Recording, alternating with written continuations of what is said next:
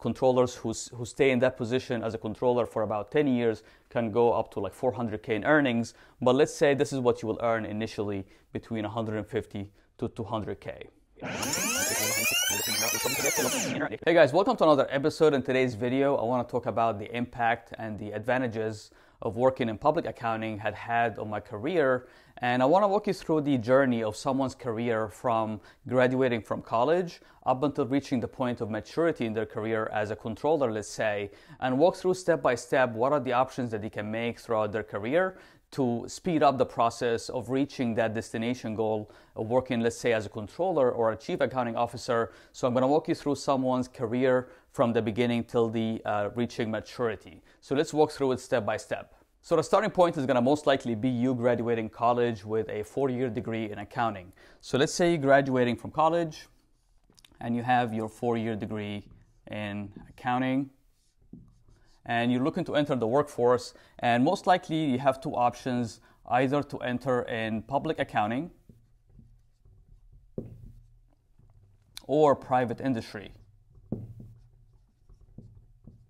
And in public accounting, most likely what you're going to be doing is you're going to enter as an auditor.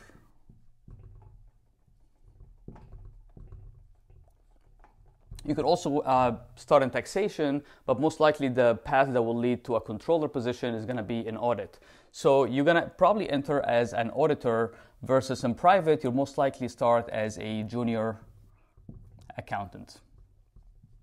Now, as far as salary, what you're most likely looking to uh, have as a starting salary in public is going to be somewhere between uh, 40 to 60k depending on where you work. So if you work in a boutique firm most likely um, that's going to be a smaller firm. You're going to be starting somewhere around mid 40s if you work for a big four or regional firm, uh, firm most likely you're going to be somewhere around 55 to 60k as a starting salary.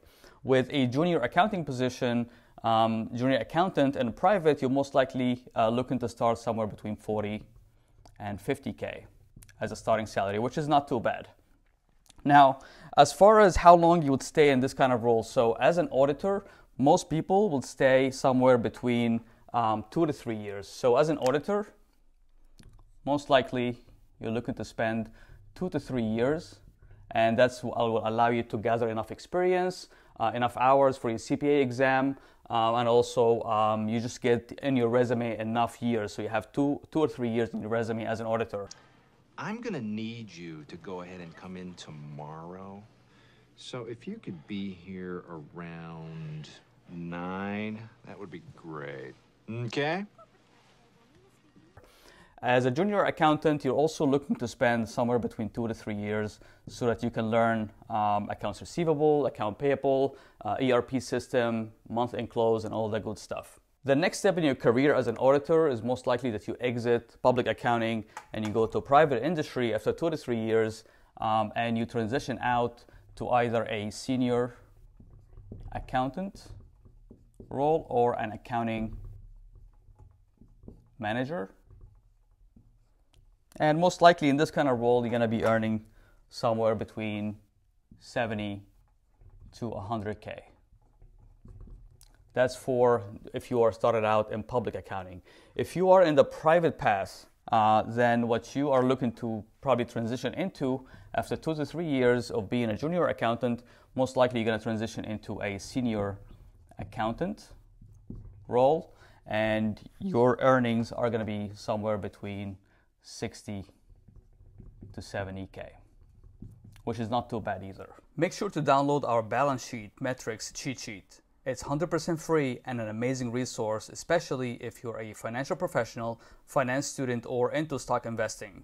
I'll leave a link in the description, so go ahead and check it out. And again, it's 100% free. Now, at this point, what you're most likely going to do is spend two to three years, most likely, in this role here as a senior accountant or accounting manager before you transfer into your next role, which is most likely going to be, in this case, an assistant controller.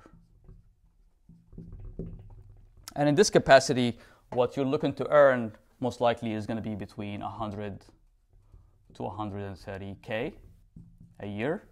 Um, and then you are going to spend in this role somewhere around three years. From there, after you spend three years here, you could then easily transition into a controller position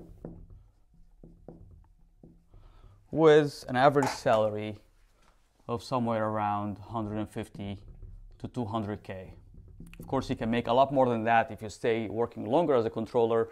Um, controllers who, who stay in that position as a controller for about 10 years can go up to like 400k in earnings. But let's say this is what you will earn initially between 150 to 200k. Now let's continue in the path that we had talked about before in private. So if you are a senior accountant here, um, you're most likely going to spend in this role also somewhere between two to three years and then transition out from there from a senior accountant into an accounting manager role. And in there, you can expect to earn anywhere between 80 to 100K in that role. And then you will probably need to spend somewhere around four years. So you can learn uh, how to close the books, uh, controls, SOX 404, and all that good stuff. You need to spend about four years in here so that you can transition from accounting manager to your next role, which is most likely going to be assistant controller. And you probably already are noticing a pattern here is that the uh, person here on top who started out in public is most likely one step ahead of the person who started out in private industry because this person almost skipped one step here uh, because of the fact that they started out in public this first uh, two to three years are almost like dog years. Uh, so in human years, those two to three years are most likely something like five to six years, just because of the fact that you work late, you get exposure to so much um, as far as working and training in public accounting. So uh, this trajectory here will lead you to a faster um, arrival at your destination if you want to be a controller at the end. Uh, in this case here, it's a slightly longer uh, trajectory, but also very achievable. So with assistant controller, what you're, what you're likely looking to earn here is somewhere also between 100 to 130k, and you'll probably spend three years before then you can transition into a controller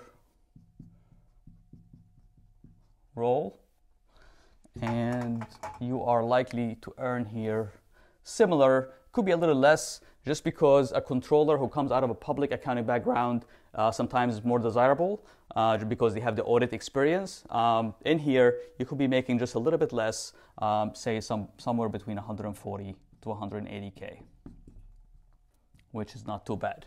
So to summarize, if we if we're looking at the advantages uh, that working in public accounting will have an impact will have in your career, you can summarize this by saying uh, that working in public versus working in private.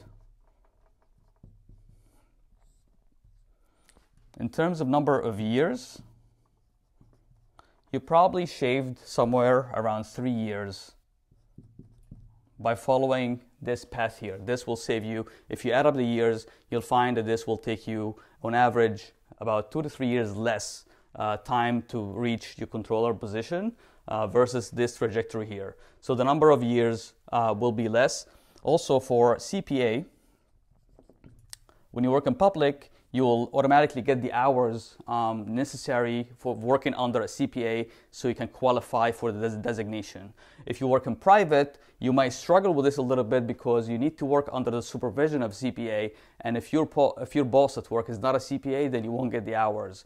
Uh, while working in public accounting, most definitely whoever is going to be supervising you is a CPA. So they'll give you the enough hours uh, to qualify for the CPA license. So you'll definitely get that. And then finally, I would say in terms of mix, uh, the advantage of working in public is that you'll have that mix, right? That's magical mix that you put in your resume and you say you worked in public and in private. And I can say that because I did work in, uh, in public and private, and I can see the impact of that when I go apply for any kind of position. Uh, it, um, it's much more better for me when I show that I have public and private experience. So that mix um, is is a lot better. Um, and so public will provide you with all of these advantages um, however, I'll say that if public accounting is not available to you, if you can't find a job in public, this path is okay. Uh, I'm just saying that public accounting is better as a starting point in your career or at some point. So you may have started in, pr- private industry, but maybe you want to transition out a little bit into public so you can get some of that public exposure working in audit and then transition back into uh, private industry. So I hope this is making sense and I hope that you benefited from watching this video. And if you liked it, give it a thumbs up. If you haven't subscribed, go ahead and subscribe to the channel. I would really appreciate that. And I'll see you in the next video.